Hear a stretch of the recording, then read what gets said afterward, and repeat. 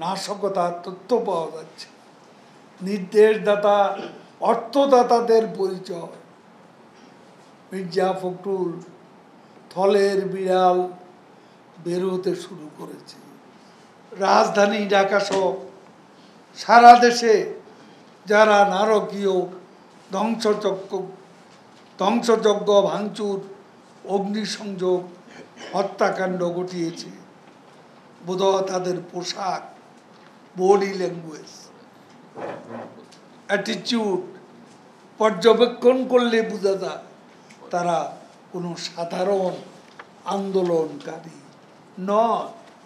তারা রাজনৈতিকভাবে উদ্দেশ্য প্রণোদিত, প্রশিক্ষিত ক্যাডার এবং সন্ত্রাসী বিএনপি মহাসচিব অর্বাচীনের নে একটা প্রশ্ন তুলেছে বিএনপি নেতাকর্মী জড়িত থাকলে তাদের সে সময় কেন গ্রেপ্তার করা হলো? আইন শৃঙ্খলা বাহিনী সে সময় সম্মুখ থেকে এসব ক্যাডার বাহিনীকে মোকাবেলা, পরিস্থিতি নিয়ন্ত্রণে আনা লক্ষ্যে কাজ করছে এখন যখন মির্জা ফখরুলের তাদের উস্কানিতে সংগঠিত হত্যাযজ্ঞ, সহিংসতা, অগ্নিসংযোগ, ধ্বংসযজ্ঞ থামানো সম্ভব হয়েছে। এবং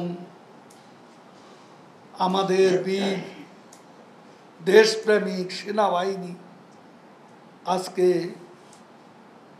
প্রধানমন্ত্রী শেখ হাসিনার নির্দেশে in aid to civil administration তারা সারা দেশে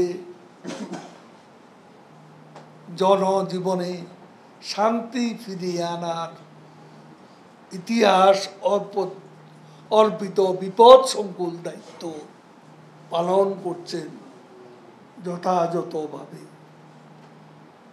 আজকে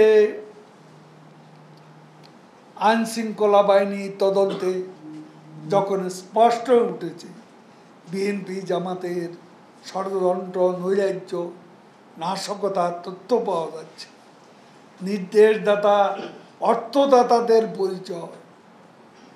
মির্জা ফখরুল থলের বিড়াল বেরোতে শুরু করেছে।